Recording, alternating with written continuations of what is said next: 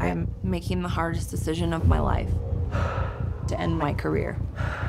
She is the most dominant American skier of all time. The adrenaline rush, going down an icy slope at 80 miles an hour, is now going to be over. People see the glamorous parts of the sport, but they don't see things that make it emotionally very difficult. The knee of somebody that's 60 years old. When you got a child that shows talent, you can't predict how far somebody's going to go.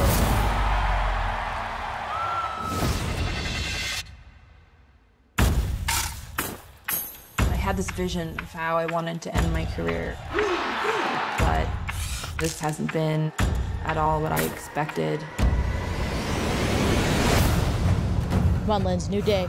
Five more medals, and she becomes the winningest racer of all time. It's expected that I win. That's kind of an unfair expectation. Another crash could end everything.